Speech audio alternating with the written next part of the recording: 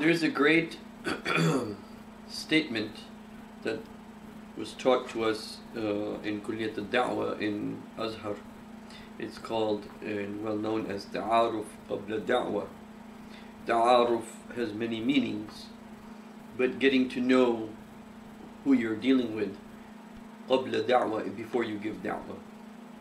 And so what I want to talk about today is even though in general Carl Jung's idea of the introvert and extrovert uh, type of personalities uh, as expressed by the personalities of Abu Bakr and Uthman anhum ajma'in uh, the companions of the Prophet like that uh, is correct. Uh, they are the siddiqeen. They look internally to themselves. And uh, sometimes people consider you know siddiqeen wa shuhada wa salihin uh, to be kind of like ranks this is uh, not 100% correct. There is that ranking in a sense, but uh, you know, Umar radiallahu was considered amongst the shuhada by the Prophet when he was on the mountain Uhud and it was, uh, the mountain was shaking. So he said, you know, uh, there is a siddiq and two shuhada. So shuhada is the, you know, the, you have the introverts and the extroverts. The introverts are those who look to their inner selves to see the truth and extroverts they they want to see you can say the ex- external things the external reality the facts that they can see and they're not so much concerned with their inner self speaking to them but the external self this is why when Abu Bakr radiallahu he heard the call of Islam he didn't need to he needed to only look inwards towards himself so this you know siddiqina wa shuhada and then with Salihin, I can't go into the, the, the details of these types of personalities, but so this is an essentially correct distinction that uh, that there are the uh, Siddiqeen and Shuhada in terms of personality. Then it is also uh, true that there are things that mold us based upon our environments. You know, for example, so I'm going to give you seven in total because one is is the person introvert or extrovert will tell you what type of information that he or she is interested in or would be interested in in determining in, in learning about Islam. So if they're introvert, they would uh, be more interested in the ideas and the concepts you can say. Uh, both introvert and extrovert, Umar radiallahu became Muslim by reading Quran. So introvert and extrovert, they, the Quran has the same effect upon them. They're just their impression of Quran, because this is the the the vast vastness of the Quran that no matter what your personality is, it has an impact on you.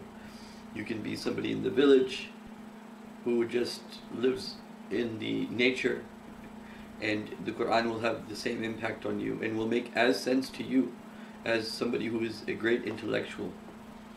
A giant intellectual will feel Quran was came down at my level, you know. But the person who is in the village will feel the Quran is speaking to me too. As the Quran says, Fihi dhikrukum, in this Quran is the mention of you. You are in this Quran. Anyhow, so there will be more invert personalities. Uh, concepts that they may be interested in would be ayahs like وَلَا تَكُونُوا كَالَّذِينَ نَسُوا اللَّهَ فَأَنْسَاهُمْ أَنفُسَهُم Do not be like those people who,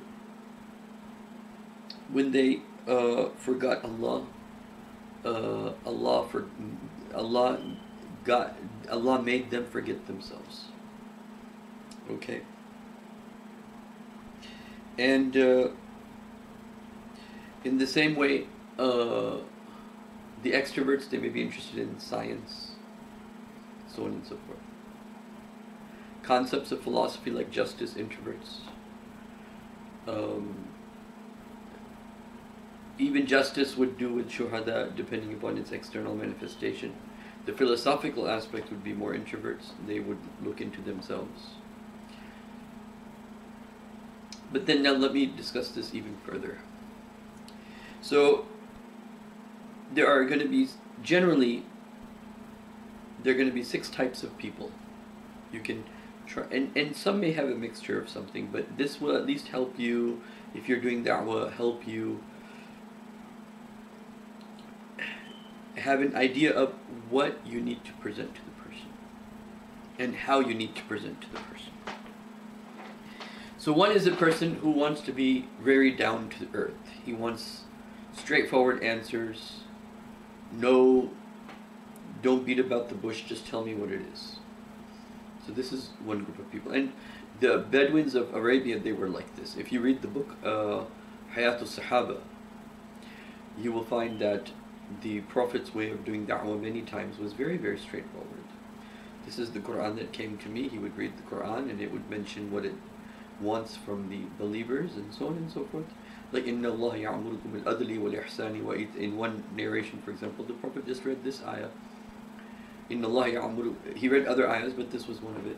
إن الله يأمركم بالعدل والإحسان the ayahs we read during Jum'ah إن الله يأمركم بالعدل والإحسان وإيتاء ذي القربى وينهى عن الفحشاء والمنكر والبغي you know very simple this is what Allah said this is my message so very straightforward another type of person he wants to you know because da'wah has to do with your fitrah your goodness of your nature if there's if your nature is corrupted then you're not going to be a truth seeker if your nature is intact you're going to be a truth seeker you you want to know what's the truth but then there are you know, in your world there are chains. So one of them, he wants a consensus. You know, he wants to know what his wife will feel, or what his her husband will feel, what her children will feel, what relatives will feel, what the friends will feel, what other people will feel, so on and so forth. How, how uh, he or she will be received. So this is part of, and also taking consensus in terms of what is your opinion about Muhammad sallallahu alaihi wasallam. What is your opinion about Islam? What is your opinion about Quran? And this can be done uh, positively or negatively depending upon the person.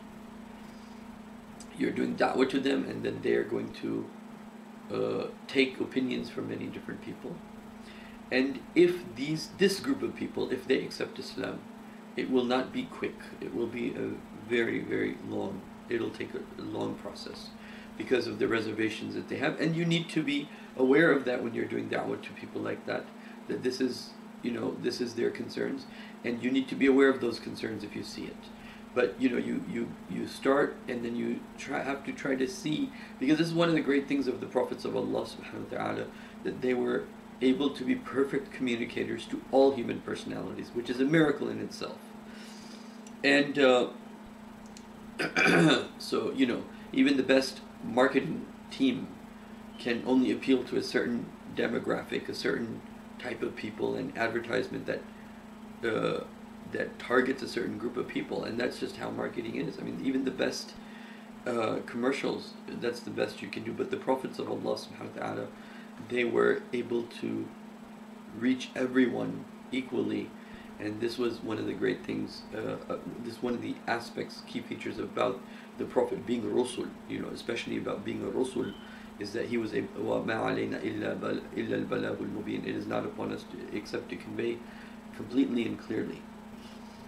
And then you have, you can say, the uh, people who are the, you know, they, they are, you can say, innovative.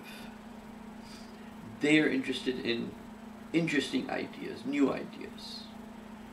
We want a new world. Give us new ideas what is the Islamic system of, judiciary? What is the Islamic system of how does Islam see family different than the rest of the world? How does Islam see justice different from the rest of the world? So on and so forth. So they, they want they want fresh ideas. They don't they're not happy. Creative people are not happy with the way things are. They want something new. And uh, creative people will be uh, creative people is going to be hard to deal with. People that are more on the creative side. And uh, there's many reasons for this, but uh, I'm not going to go into that. But creative people, you know, they are very expressive of their uh, self, and uh, it's it's hard to uh, if they're stuck on some issue.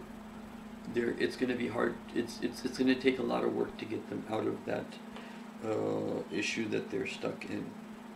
Um, another group of people, for example, um, that would be um, so you also have, for example, the people that need friends and relations. They're like the salihun.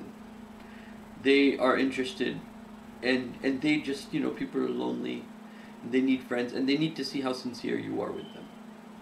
So it's not so much about the met- message, but it is about the the friendship, the relationship, what it, the meaningfulness of this new relationship. This is why it is said that treat every non-Muslim as a Muslim, because this is what will help them understand that what it means to be Muslim. So friendship, a lot of people, a lot of people even leave Islam because of friendships nowadays, especially in high school, the younger crowd. And a lot of people will come into Islam because of friendship, because of the community, because of a sense of support system, so on and so forth. This is a human need that in modern times is very much lacking, and uh, it is uh, it is you know it is very much in need. And so if they see that there's friendship, so one thing like this is more important than you're doing one-on-one da'wah to this person. It is more important that you help socialize this person with your other friends. This should be generally true in many many cases, not just, but specifically for this person, he wants you know he wants he wants friends. He wants to have a sense of belonging, or she wants to have a sense of belonging. So this is very important. Then you have the skeptical people. the skeptical people also want to, generally speaking, argue also.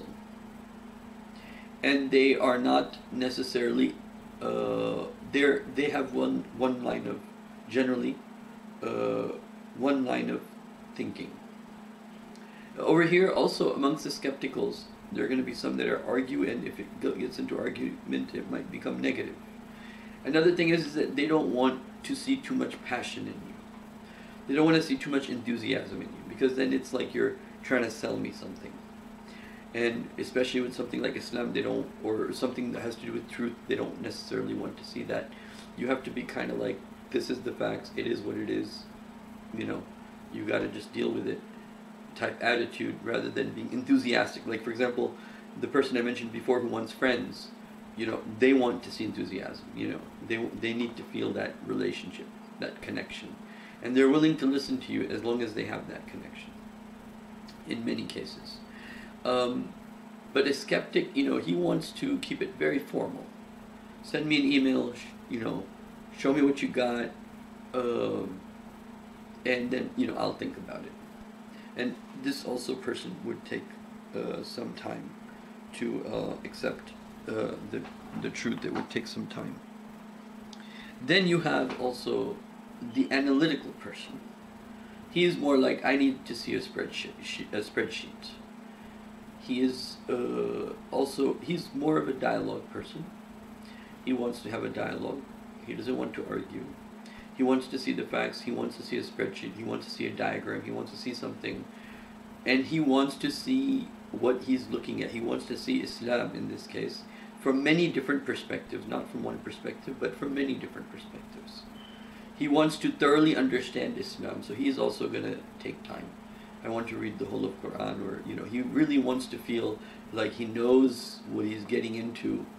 Uh, and so for this person for example it would be good to give him a lot of books to answer his questions that he has. He will ask the questions and he will ask himself and then you have to answer and then he's going to look at Islam from many different perspectives. So a lot of what I have said uh, you know you will uh, see this anytime you're doing da'wah.